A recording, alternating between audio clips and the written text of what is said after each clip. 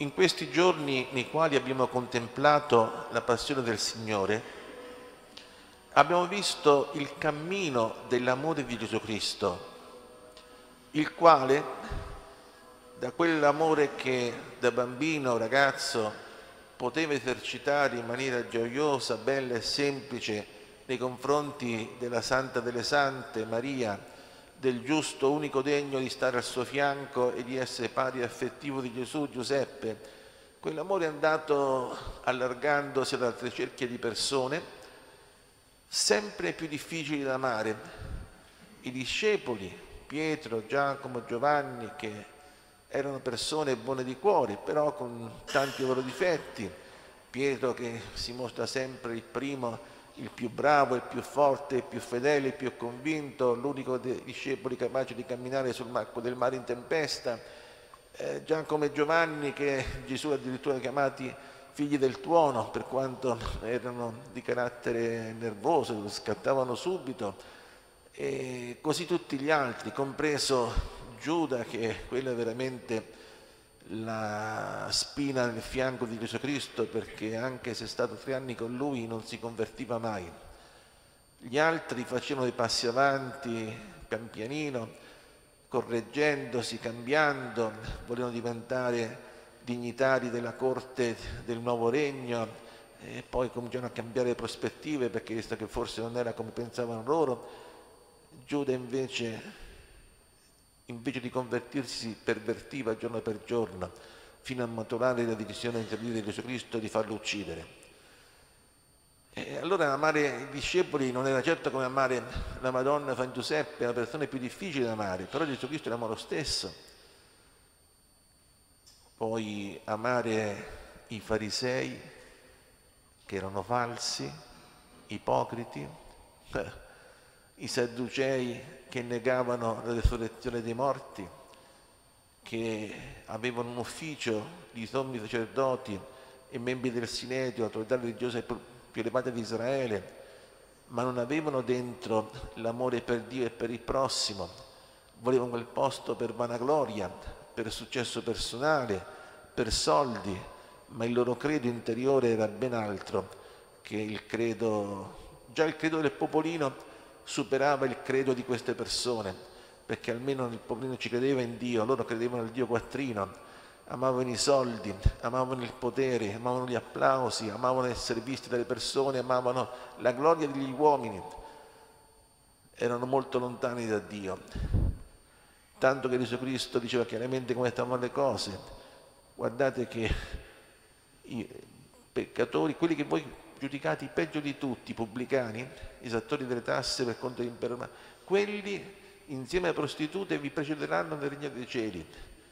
Voi vedrete dopo, voi credete di essere migliori, siete peggiori.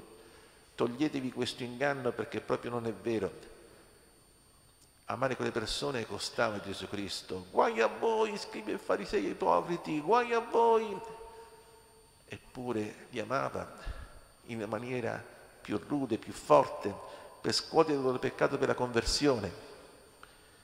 E amare quando fu arrestato, amare quelli che lo condannavano in processi farsa, sia il processo religioso sia il processo civile fatto davanti a Ponzio Pilato, amare il famoso sacerdote che in nome del Dio Altissimo, il papà di Gesù Cristo, lo condannava a morte perché bestemmiatori in quanto aveva osato chiamarsi figlio di Dio, invece Gesù Cristo era realmente. Come si deve chiamare una persona così delinquente? Falso rappresentante religioso del popolo di Israele, quello ci credeva meno di tutti in Dio. Se avesse una, avuto una briciola di fede avrebbe cercato di esaminare la dottrina di Gesù Cristo, se era fatta secondo la Bibbia o no, i miracoli fatti di Gesù Cristo, se erano veri, opere di Dio o no. Niente, Gesù Cristo dava solo fastidio perché era e predicava tutta una serie di cose contrario all'equilibrio dei valori che si erano costruiti. Ebbene, Gesù Cristo, come si fa a amare una persona così? Come si fa ad amare quelli che ti frustano? E ti macellano la schiena per sempre. Come si fa ad amare quelli che ti hanno messo la corona di spine e poi ti giudicano divertendosi come se tu fossi un pazzo, dandoci le bastonate sopra per fare conficcare le spine dentro? Come si fa ad amare quelli che quando stai appeso sulla croce stai morendo, in mezzo a Maria di, di sofferenza e di sangue, se la godono, godono di vederti crepare e godono di vedere che la loro teoria si afferma contro la tua. Tu predichi l'amore e invece vince il male. Questa è la verità. Vince il diavolo, non vince Dio. Se Dio esistesse ti verrebbe a far scendere dalla croce, invece non ci sta. Tu non sei figlio di nessuno, tu sei figlio del peccato come noi se muori sulla croce come ogni altro essere umano.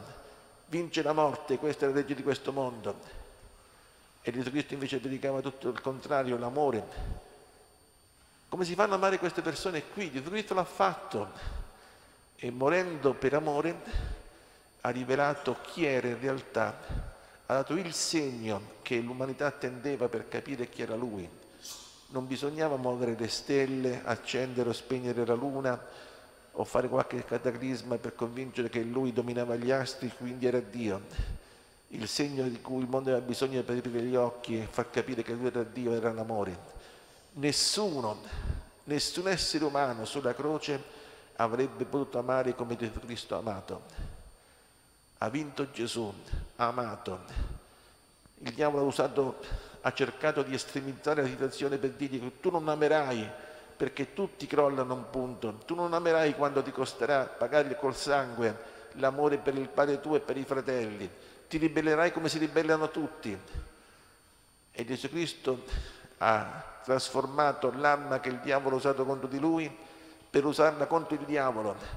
Ha versato suo sangue per amore e quel sangue è diventato il segno del massimo amore possibile sulla terra, il terrore dei demoni, l'arma con cui l'ha sconfitto il Satana, con cui oggi sconfiggiamo il maligno quando amiamo anche se soffriamo a causa dell'amore dato al prossimo.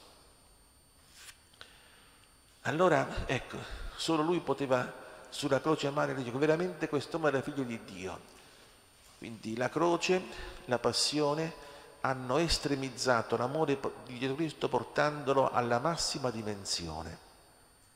Eh, e allora, se quando uno ama e crea, sperimenta una soddisfazione, una gioia, un qualcosa di nuovo e bello dentro te stesso, se qualcuno quando fa del bene ama gratuitamente dando un pranzo a persone che non ti possono ricambiare e dentro di te ah, sperimenti una gioia più forte di quello che crea facendo un lavoro, una cosa che è importante per la vita delle persone. Quando uno ama dando la vita, che sulla terra è l'espressione massima dell'amore, non esiste l'amore più grande di quello che dà la vita per le persone che ama. Che cosa ne consegue a livello interiore? Che cosa sprigiona questo amore? La resurrezione dei morti. L'amore dato nella maniera sacrificale nella sua massima dimensione, produce la resurrezione dei morti. Questo è il messaggio del cristianesimo, questa è la buona notizia. Chiamando si vive, quando si muore per amore si resuscita.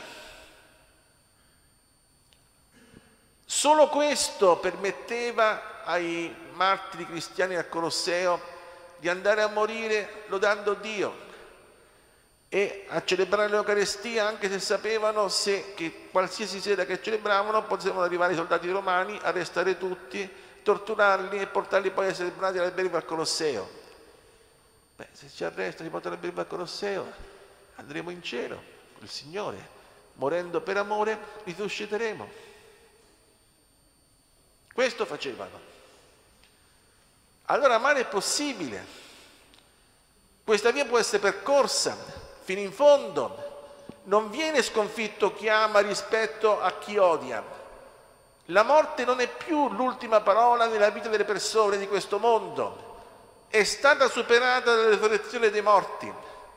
Gesù Cristo vive immortale, non lo può uccidere più nessuno, nessuno può più uccidere uno che crede in Lui, perché Cristo ci risuscita. Vedete che questo cambia totalmente la prospettiva di vita di un essere umano in questo mondo. Domani celebreremo, domenica, no, lunedì celebreremo un funerale, è morto un signore di 92 anni, al CIDE, che dicono i familiari, eh, dice, eh, a gennaio è morta la moglie, adesso è morto lui, e due morti vicine, una brava persona, beh, non c'è più, non c'è più, dicono le persone non c'è più, si soffre, eh, si può ricordare, ma non c'è più, ho perso questo, ho perso quell'altro. E la vita che è così, una stagione vive bene, poi si invecchia, vengono le malattie, la vita finisce. Che vita è questa? Poi perché è morto a 92 anni, se fosse morto a 60 o a 35, eh, ma non è troppo presto. È impossibile così, dice, non è ancora tanto da vivere, da fare tante cose discorsi senza senso, fatti da persone che credono soltanto in questa breve vita e niente di più. Saremmo persone infelici se la nostra vita dovesse essere fermata dal limite dell'età, delle malattie, della morte. Noi abbiamo una cosa migliore e più grande. Gesù Cristo è risorto dai morti e noi pure. Quando ci convertiamo, quando passiamo dai nostri peccati ad amare, qui risuscitiamo dentro noi stessi, un giorno anche il nostro corpo, perché se Dio è capace di rifiutarci qua dentro, figuriamoci se non è capace di rifiutare il corpo, che è più facile. Questo avviene. E guardate come è fatto il nostro cristianesimo, ma quanto è vero questo. Le donne la domenica mattina che cosa andavano a fare al sepolcro? A trovare un Cristo morto. Oggi il cristianesimo medio di tutti è trovare Cristo morto. Per noi Cristo c'è ma è morto, è incapace di fare qualsiasi cosa. Vince sempre il male, Cristo è morto. Crediamo, ma Cristo è morto. Non è così. Perché cercate dei morti colui che è vivo? Perché vi avete questa mentalità, questo cuore bacato, senza fede, di adorare un Cristo morto? Qui c'è bisogno di un cambio radicale della nostra fede. Bisogna cominciare a credere che Cristo è risorto e operare di conseguenza. Se Cristo è risorto facciamo cose ben diverse da quelle che fanno le persone che credono che Cristo è morto. E vedere all'opera Cristo risorto nella nostra vita, quella è vera vita, quella è una cosa meravigliosa. Cosa disse l'angelo alle donne? Cosa disse poi Gesù Cristo risorto ai suoi discepoli? Andate in Galilea, là lo vedete risorto, andate in Galilea, là mi vedrete risorto. Perché la Galilea?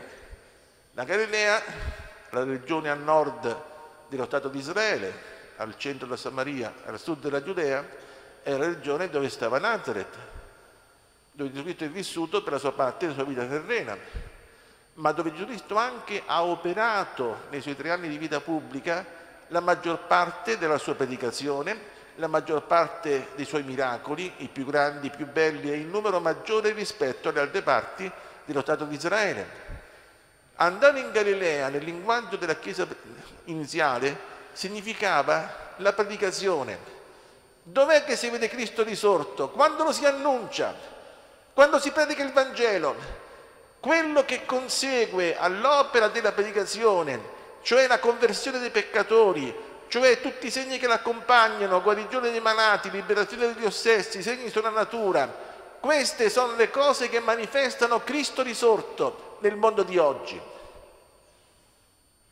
C'è qualcuno che ha coraggio di predicare il Vangelo? C'è qualcuno che ha coraggio di andare in Galilea?